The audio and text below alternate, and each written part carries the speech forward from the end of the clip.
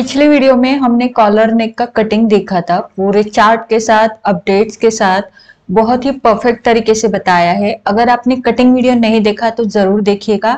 Link description box में होगी।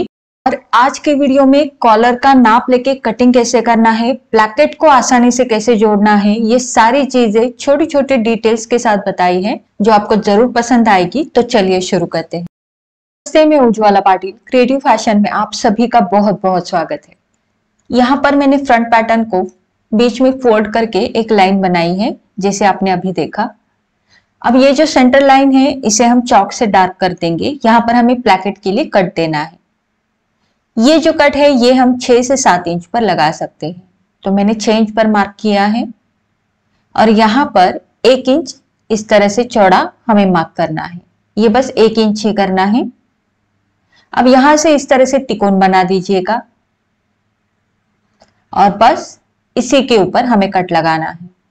तो यहाँ से मैंने तिकोन तक कट लगाया और फिर उसके बाद जैसा हमने ड्रॉ किया था, वैसे मैंने कट दिया है। तो ये बीच का तिकोन कुछ इस तरह से दिखेगा। अब हम इसके ऊपर प्लैकेट की पट्टियाँ जोड़ेंगे। पट्टियाँ बनाने के लिए मैंने यहाँ पर ये लगभग तीन इंच चौड़ी पट्टियाँ ले ली है और इनकी लंबाई जो है वो लगभग 10 या 11 इंच तक आप रख सकते हो। ऐसी मैंने दो सेम पट्टियाँ काटी है दोनों साइड के लिए। अब हम इसको जोड़ेंगे। तो ये कुर्ती की सीधी साइड ऊपर की तरफ़ है और पट्टी को मैंने नीचे की तरफ़ डाल दिया है, जैसे आप देख पा रहे हो। और यहाँ से हमें नीचे तक सिलाई लगाकर पट्टी को जोड़ना है। तो इस कट तक हमें सिलाई लगानी है, जो हमने तिकोन में कट लगाया था, वहाँ तक। तो यहाँ पर हम सिलाई को शुरू करेंगे। सिलाई मार्जिन जो है, वो क्वार्टर इंच से थोड़ा सा ज़्यादा रखा है। आधा इंच से कम है और क्वार्टर इंच से ज़्यादा। तो यहाँ तक मैंने सिलाई लगा दी। सिलाई लगाने के बाद पट्टी को बाहर की तरफ़ निकाल देंगे। और इसे हमें यहाँ पर पलट कर सिलाई लगानी है। तो एक बार देखिएगा, सिलाई मार्जिन को इस तरह से पट्टी की ओर मोड़ा है मैंने। और नाखून से थोड़ा सा प्रेस कर दीजिएगा। और ये देखिए, यहाँ यहाँ तक हमने सिलाई लगाई थी। अब इस पट्टी को यहाँ से अंदर की तरफ़ मोड़ेंगे, लगभग आधा इंच तक। और फिर इसे इस तरह से मोड़ देंगे। अब मोड़ने के बाद लगभग इसकी चौड़ाई जो है, वो एक इंच तक होनी चाहिए, जैसे कि मेरी आ रही है। अब यहाँ पर मैं ऊपर से टॉप स्टिच लगाऊँगी। तो ये जो टॉप स्टिच है ये हम नीचे तक लेके जाएँगे। तो यहाँ पर कट है। तो यहाँ तक हम सिलाई को लेके जाएँगे। मतलब कट के नीचे लगभग आधा से एक इंच आप लेके जा सकते हो। तो ये सिलाई मैंने लगा दी। अब धागे को हम तोड़ देंगे। अब यहाँ पर जो ये पट्टी रेडी है तो इस तरह से ये दिखेगी। अब एक्स्ट्रा की पट्टी को कट कर दे, उसका कोई काम नहीं है। अब हम दूसरी और भी पट्टी लगाएँगे। तो इसे ये बीच बीच में ना आए, इसलिए इसको मैं यहाँ पर पिन लगा दूँगी, ताकि ये दूसरी पट्टी जोड़ते टाइम बीच में ना आए। अब दूसरी पट्टी ली है जो सेम है, तीन इंच चौड़ी और लगभग ग्यारह इंच लंबी। इसे मैंने नीचे की तरफ़ रख दिया है, क्योंकि कुर्ती की सीधी साइड ऊपर की तरफ़ है। और इसे हम सिलाई लगा के ऊपर की तरफ़ पलट देंगे तो यहाँ पर भी उतना ही मार्जिन रखा है क्वार्टर इंच से ज़्यादा और आधा इंच से कम। तो ये भी हम, ये देखिए, ये तिकोन आपको दिख रहा है तो यहाँ तक हम सिलाई लगाएँगे। इसके नीचे नहीं जाना। सिलाई मेरी लग चुकी है और बस मैं यहाँ पर धागे को तोड़ दूँगी। अब इस पट्टी को हम ऊपर की तरफ़ निकाल देंगे। तो ये कुछ इस तरह से दिखेगी। अब यहाँ पर भी पट्टी के और मोड़कर इसे नाखून से थोड़ा सा प्रेस कीजिएगा। और सेम तरीके से, जैसे हमने पहले पट्टी को मोड़ा था सेम तरीके से इसे भी यहाँ से मोड़कर इसके ऊपर रख देंगे। तो सिलाई मार्जिन जो है वो बीच में आना चाहिए। अब यहाँ पर हम किनारे से सिलाई लगाएँगे। इसकी चौड़ाई भी एक इंच ही होगी। तो बस मैं किनारे से सिलाई लगा रही हूँ। अब देखिए, यहाँ पर हमें रुकना है। तो यहाँ पर ये जो कट है हमारा, वहीं तक हम सिलाई को लगाएँगे और उसके बाद देखेंगे क्या करना है। तो बस उसी निशान तक मैं आ गई हूँ, उसी कट तक, और अब हम धागे को तोड़ देंगे। तो यहाँ पर एक बार दिखा देती हूँ मैं आपको कैसी सिलाई लगी है। तो इस पट्टी को मैंने पिन से खोल दिया। अब आप देख सकते हो, इस तरह से यहाँ पर सिलाई लगी है। जो तिकोन है, उसे मैंने नीचे की तरफ़ मोड़कर उसके ऊपर इस पट्टी को रख दिया और उसके ऊपर इस पट्टी को रख दिया। तो इस तरह से एक के नीचे एक ये चीज़ें आनी चाहिए। अब यहाँ पर मैं एक पिन लगा दूँगी ताकि सिलाई लगाते टाइम ये इधर उधर ना हो और यहाँ पर हमें सिलाई लगानी है। तो ये देख सकते हो आप। तो यहाँ से मैं सिलाई को शुरू करूँगी। अगर देखेंगे, सारी पट्टियाँ एक के नीचे एक है या नहीं? और फिर सिलाई को शुरू करेंगे। अब यहाँ पर नीचे आप एकदम सिंपल भी रख सकते हो, या फिर आप इस तरह से डबल ट्रायंगल करके यहाँ पर पट्टी को फोल्ड कर सकते हो, ताकि नीचे की तरफ़ कोना बन जाए। अगर आप प्लेन आड़ा रखना चाहते हो तो बस सिंपली पट्टी को फोल्ड कीजिएगा अंदर की तरफ़ और सिलाई लगा दीजिएगा। नीचे वाली पट्टी का एंड पॉइंट देखेंगे। तो यहाँ पर हम मार्किंग करेंगे। नीचे की पट्टी जहाँ पर खत्म होती है, उसके आधा इंच ऊपर एक मार्क किया है और उसके एंड पॉइंट पर। अब बस यहीं पर हमें सिलाई को खत्म करना है। तो नीचे वाले मार्किंग की तरफ़ आ गए हैं और वहाँ से इसको घुमा के इस तरह से सिलाई लगाएँगे और फिर इसको ऊपर लेके, किनारे से ऊपर लेंगे और यहाँ पर खत्म करेंगे। तो इस तरह से ये बॉक्स बना है। ये जो बॉक्स है, ये आप यहाँ पर मैंने ये लगभग आधा इंच बॉक्स बनाया है। आप क्वार्टर इंच का भी बॉक्स बना सकते हो और इसका फिनिशिंग आप देख सकते हो। पट्टी बहुत ही सरल तरीके से और फिनिशिंग के साथ बैठी है। अब इस पट्टी को एक दूसरे के ऊपर अच्छे से रखेंगे और नेक वाली साइड में जो एक्स्ट्रा की पट्टी है, उसे कट करेंगे गोलाई में। पट्टी को एक दूसरे के ऊपर अच्छे से रखना है और फिर कट करना है। तो ये हमारा कट हो चुका और ये फ्रंट पैटर्न अभी हमारा रेडी हो गया है। तो प्लैकेट भी बड़े फिनिशिंग के साथ और आसानी से लग गए। अब ये सीधी साइड इसके ऊपर की तरफ़ है। इसके ऊपर मैंने बैक को रख दिया। ये हमारा बैक पैटर्न है। अब जैसे कि आप देख पा रहे हो, गले की चौड़ाई फ्रंट की कम है और बैक की ज़्यादा है। तो यहाँ पर घबराने की कंफ्यूज होने की कोई बात नहीं। बस दोनों को, दोनों शोल्डर पट्टियों को एक दूसरे के ऊपर रखते। तो दोनों की चौड़ाई सेम रहेगी। यहाँ से सिलाई लगाएँगे। सेम यहाँ पर भी करिए। और यहाँ पर शोल्डर की सिलाई लगाए दोनों तरफ़ सिलाई मैंने लगा दी है और अब हम इसको खोल देंगे। तो ये अंदर की तरफ़ इसकी सीधी साइड आ गई। अब इसको इस तरह से पकड़ना है बिल्कुल और यहाँ पर रखते। गले को बिल्कुल भी खींचना नहीं है। बस एक दूसरे के ऊपर एकदम बराबर से रखेंगे ताकि हम जो कॉलर का नाप लेंगे वो एकदम करेक्ट आए। अब यहाँ पर जहाँ से हम सिलाई लगाएँगे वो गोलाई मैंने निकाल दी। और उस गोलाई के ऊपर से हम नापे नापेंगे कि हमारे कॉलर का नाप कितना आएगा। तो यहाँ पर मेरी कॉलर का नाप आ रहा है साढ़े आठ इंच। अगर आपकी एक लाइन भी आगे या पीछे हो रही है तो आपको बराबर से पकड़ना है। अब यहाँ पर मैंने ये कॉलर का पेस्टिंग पेपर लिया है। और यहाँ पर जितना मेरा आया था नाप, गले की गोलाई का, साढ़े आठ इंच, उतना मैंने किया है मार्किंग अब साढ़े आठ इंच के थ्री इक्वल पार्ट्स करेंगे मतलब तीन समान भाग करेंगे। यानी कि आप साढ़े आठ को तीन से भागेंगे तो भी तीन समान भाग निकल के आएँगे। तो मेरा लगभग लगभग पौने तीन इंच आया है। थ्री इक्वल पार्ट्स किए हैं। अब यहाँ पर इस तरह से मैंने लाइन बना दी। अब यहाँ से सभी साइजेस में आप थ्री फोर्थ इंच ऊपर की तरफ़ ले। यहाँ से बस क्वार्टर इंच से थोड़ा सा कम ऊपर लेना है और यहाँ से हमें गोलाई देनी है। हाथ से भी दे सकते हो। या फिर आपके पास पैटर्न स्केल वगैरह है तो उससे भी आप शेप दे सकते हो। तो बस मैंने हाथ से ही दिया। अब यहाँ पर कॉलर की चौड़ाई में एक इंच रख रही हूँ। तो एक एक इंच पर मैं इस तरह से मार्क करती जाऊँगी। जो हमारी नीचे की तरफ़ की कर्व लाइन है, उसे बराबर से रखते हुए एक एक इंच पर मार्क किया है।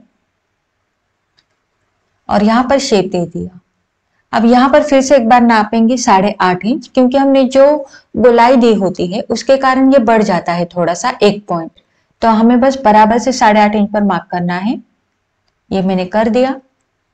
अब यहाँ से हम 90 डिग्री एंगल में ऊपर की तरफ़ लाइन बनाएँगे, इस तरीके से। और यहाँ से गोलाई देंगे। तो हो गया हमारा कॉलर का मार्किंग, अब इसका कटिंग करेंगे। कटिंग करते टाइम ये जो फ्यूजिंग पेपर होता है, वो ऊपर नीचे होता है, इसलिए मैंने पिंस लगा दिए हैं ताकि ये हिले नहीं और एकदम बराबर से कटिंग हो। आप चाहो तो छोटे छोटे क्लिप्स भी लगा कर ले सकते हो, दोनों एक साथ जुड़ने के लिए मैंने पिंस लगाए हैं। तो कॉलर हमारा कटिंग हो चुका है, अब इसे मैं खोल के दिखाती हूँ। तो ये हमारा नीचे वाला यानी गले की तरफ़ जुड़ेगी ये साइड तो इसलिए मैंने एरो कर दिया। और ये देखो, ये इस तरह से बनेगी।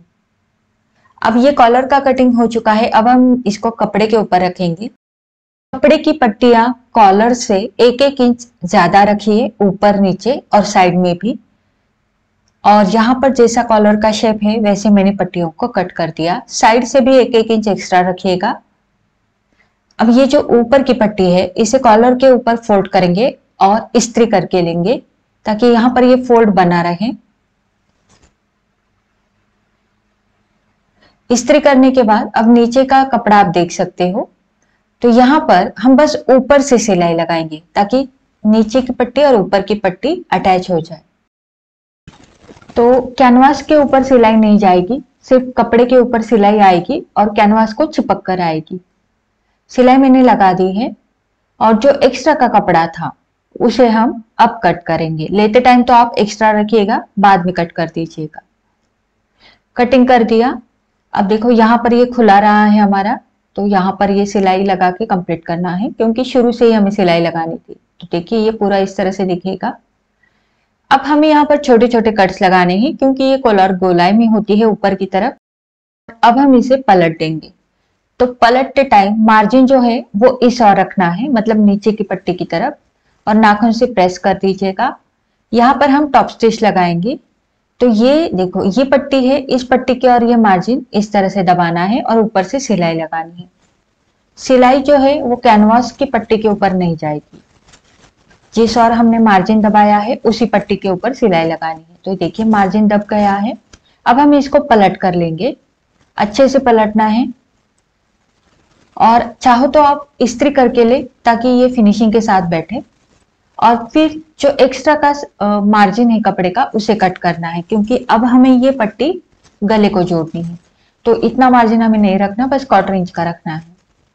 तो ये देखिए, बस क्वार्टर इंच का मार्जिन रखते हुए मैंने बाकी का कट कर दिया, और ये इस तरह से रेडी है। अब इस कॉलर को हम गले के ऊपर लगाएँगे तो पहले हम इसको सेंटर में फोल्ड करेंगे,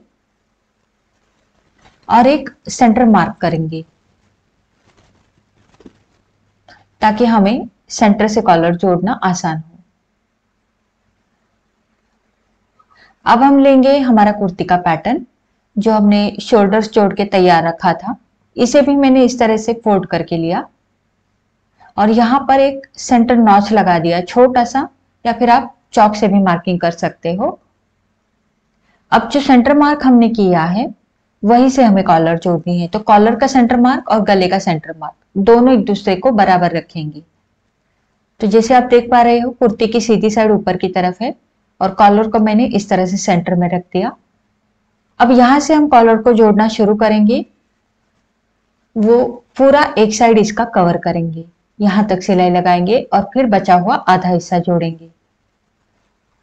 तो चलते हैं मशीन के ऊपर।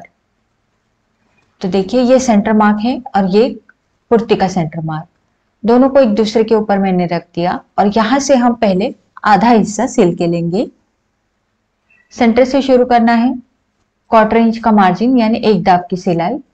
अब लेते समय यहाँ पर ये जो शोल्डर की सिलाई है, उसे बीच में से खोल दीजिएगा और फिर उसके ऊपर कॉलर को रखकर सिलाई लगाइएगा ताकि वहाँ पर झोल ना आए।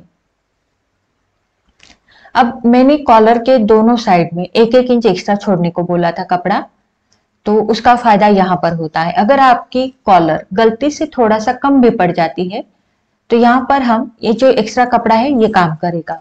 ठीक है? तो यहाँ पर ये बराबर से हो गई है। ठीक? तो अब हम यहाँ से सिलाई लगाएँगे। अगर आपकी कॉलर कम पड़ जाती है तो जो एक्स्ट्रा का कपड़ा है, वो काम आता है। यानी बाहर की तरफ़ से सिलाई लगाएँगे। तो यहाँ पर ये बराबर से हो रही है तो जहाँ पर ये खत्म हो रही है, वहाँ से मैं इसको इस तरह से सिलाई लगाऊँगी, जैसा हमारा शेप है। और अगर कम पड़ती है तो कपड़े, कपड़ा जो एक्स्ट्रा का लिया है एक इंच का, वहाँ से गोलाई में सिलाई लगाएँगे अब ये एक्स्ट्रा का कपड़ा कट कर देंगे, क्योंकि अभी इसका काम नहीं है। कट करने के बाद यहाँ पर हम छोटे छोटे नॉचेस लगाएँगे। इस तरीके से, एकदम छोटे छोटे लगाने हैं, सिलाई कट नहीं होनी चाहिए। तो दो से तीन नॉचेस हम लगाएँगे। और अब हम इस कॉलर को, मैं आपको पलट के दिखाती हूँ। अभी तो हमें पलटना नहीं है, बस मैं पलट के दिखा रही हूँ। ये देखिए, इस तरह से इसका फिनिशिंग आएगा। तो अभी मैं इसको फिर से इस तरह से उल्टा कर दूँगी, क्योंकि अभी आधा हिस्सा जोड़ना बाकी है। अब ये बचा हुआ आधा हिस्सा हम जोड़ेंगे। तो आपको क्या करना है अभी? यहाँ से सेंटर से गला और कॉलर दोनों को बिना खींचे अच्छे से पकड़ते जाना है। ये देखिए, इस तरीके से। और फिर सिलाई जो है, वो यहाँ से शुरू करेंगे, यहाँ से, ठीक? तो बस दोनों का मेज़रमेंट सही से पकड़ते हुए हमें किनारे तक आना है और वहाँ से आपको सिलाई को शुरू करना है। तो यहाँ से मैं सिलाई को शुरू कर रही हूँ। और ना ही गला खींचना है और ना ही कॉलर और यहाँ पर भी शोल्डर की सिलाई को बीच में खोलकर मैंने ऊपर कॉलर रखकर सिलाई लगाई है। तो यहाँ पर ये सेंटर है। सेंटर तक मैंने सिलाई लगा दी और कट कर दिया धागे को। तो पूरी कॉलर जुड़ चुकी है। अब इस किनारे की ये गोलाई की सिलाई लगाना बाकी है। तो यहाँ पर भी कॉलर एकदम बराबर से हो रही है। अगर आपकी, जैसे मैंने बताया, कम पड़ रही है कॉलर तो आप जो एक्स्ट्रा का कपड़ा हमने रखा है एक एक इंच का, वहाँ से सिलाई लगा सकते हो गोलाई में। हाँ भले वहाँ पर कैनवास नहीं रहेगा, लेकिन उतना चल जाएगा, थोड़ा बहुत। तो गोलाई में मैंने सिलाई लगा दी है, और जो एक्स्ट्रा का कपड़ा है, उसे हम कट करेंगे। तो यहाँ पर भी हम दो से तीन नॉचेस लगाएँगे, जैसे हमने उस साइड में लगाए थे। तो ये छोटे छोटे नॉचेस मैंने लगा दिए हैं। ठीक? अब कॉलर पलटने के बाद यहाँ पर झोल नहीं आएगा। ठीक है? तो पूरी कॉलर लग चुकी है, ये देखिए। अब इसको हम सीधी साइड में मतलब इस साइड में पलट देंगे। तो पूरा पलट कर लेंगे और बस हमें अब टॉप स्टिच लगानी है। कॉलर तो हमारी जुड़ चुकी है। तो इस ट्रिक से अगर आप कॉलर लगाते हो तो आपकी कॉलर अगर कम भी पड़ जाए तो एडजस्ट हो जाता है। ठीक है? तो अब हम यहाँ पर टॉप स्टिच लगाएँगे। तो शुरू करते हैं यहाँ से। एक किनारे से दूसरे किनारे तक लगी जाएँगे। तो बस बिना खींचे हमें ये सिलाई लगानी है। अगर हम खींचते हैं तो कॉलर का यहाँ पर झोल आ सकता है, ठीक? तो बिल्कुल धीरे धीरे करके हम बिना खींचे इस कॉलर को लगाएँगे। तो ये कुर्ती हमने विथ प्लैकेट बनाई है। अगर आप फ्रंट की तरफ़ प्लैकेट नहीं रखना चाहते, एक सिर्फ़ सिंपल कट रखना चाहते हो तो भी कॉलर नेक कुर्ती का कटिंग सेम रहेगा और स्टिचिंग भी सेम रहेगा। तो यहाँ पर हमारी सिलाई हो चुकी है। और धागे को लॉक करके मैंने तोड़ दिया है। तो ये हमारे इस तरह से कॉलर रेडी है और देखिए बहुत ही फिनिशिंग के साथ और गोलाई में ये कॉलर बैठी है। अब ये जो प्लैकेट रेडी है, यहाँ पर हम हुक्स और आई बना देंगे। जैसे कि यहाँ पर हम आई बना देंगे और यहाँ पर हुक्स लगा देंगे और ये यहाँ पर बंद हो जाएगा। और बहुत ज़रूरी बात, यहाँ पर आपको ये ऊपर नीचे रख लग रहा है। तो यहाँ पर ये जो शोल्डर की सिलाई है जैसे हम ये बराबर से रखेंगे शोल्डर की सिलाई आगे की तरफ़ आएगी। ऐसा इसलिए होता है क्योंकि फ्रंट आर्म होल हमने बैक आर्म होल से एक इंच कम रखा था। क्योंकि हमारी शरीर की रचना ही ऐसी होती है, जिसके कारण हम ऐसा कटिंग करते हैं और इससे हमारे कॉलर में झोल नहीं आएगा पहनने के बाद। तो यहाँ पर आप देख सकते हो फिटिंग भी हमारी ऐसी ही होगी, एकदम बराबर से आम होल कर रखकर। तो देखिए, ये सिलाई शोल्डर की आगे की तरफ़ आई है, यानी बैक का जो शोल्डर है, वो आगे की तरफ़ झुकता है। और इससे पहनने के बाद कॉलर में झोल नहीं आता। और फिटिंग भी हमारी एकदम बराबर से आएगी। ये देखिए, यहाँ पर मैंने बराबर से रखा है। पहले आप स्लीव्स को जोड़ कर ले और फिर बराबर से रख के फिटिंग करें। तो स्लीव जोड़कर जोड़ने का तरीका भी मैं बताती हूँ। ये हमारे स्लीव्स है। यहाँ पर आपको सेंटर नॉच देना है स्लीव्स को। तो ये जो स्लीव का सेंटर नॉच है, यहाँ पर आपको दिख रहा है। ये बराबर से जो शोल्डर की सिलाई है, वहाँ पर रखना है। ठीक है? तो ये देखिए, यहाँ पर ये शोल्डर की सिलाई है तो बराबर से सेंटर नॉच उसके ऊपर आना चाहिए। पहले कोई भी आधा हिस्सा जोड़ कर ले सेंटर से सिलाई को शुरू करे और फिर बचा हुआ आधा हिस्सा जोड़ कर ले। तो ये देखिए, एकदम बराबर से बैठ रही है स्लीव बस आपको सेंटर से यानी शोल्डर की सिलाई की तरफ़ से शुरू करना है और फिर एक बार आधा हिस्सा सिलाई करके हो जाता है, फिर बचा हुआ आधा हिस्सा आप सिलाई करके ले। दिखाए अनुसार मैंने यहाँ पर स्लीव्स को जोड़ कर लिया। उसके बाद जो डार्ट का मार्किंग किया था फ्रंट और बैक दोनों तरफ़, वो भी मैंने सिल के लिए और फिर उसके बाद मैंने साइड फिटिंग की सिलाई लगा के साइड स्लिट्स को भी बना दिया और फिर बॉटम को बना दिया और कुर्ती हमारी यहाँ पर रेडी हो गई। आई होप आपको ये सिलाई का वीडियो भी पसंद आया होगा और आज का ये वीडियो आपको कैसा लगा, मुझे नीचे कमेंट करके ज़रूर बताइएगा। अच्छा लगा है तो लाइक शेयर और चैनल को सब्सक्राइब भी ज़रूर कीजिएगा। मिलते हैं हमारे अगले वीडियो में। तब तक अपना ख्याल रखना। धन्यवाद।